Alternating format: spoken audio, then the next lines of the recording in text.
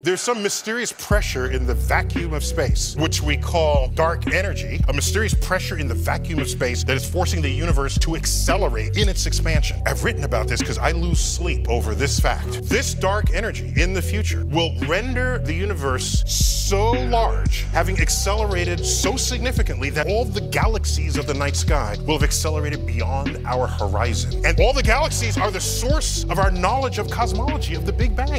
Everything we know about the history of the universe comes to us from these galaxies. If they accelerate beyond our horizon, the next generation of cosmic explorers will only have the stars of the Milky Way to think about. There would have been an entire chapter of the universe ripped from their view. And so I lose sleep wondering, was there some previous chapter ripped from the universe itself? But it's a complete mystery. We don't understand the origin of 85% of all the gravity of the universe. It's not black holes, uh, comets, stars, planets. It's none of the above. It's gravity with no known source.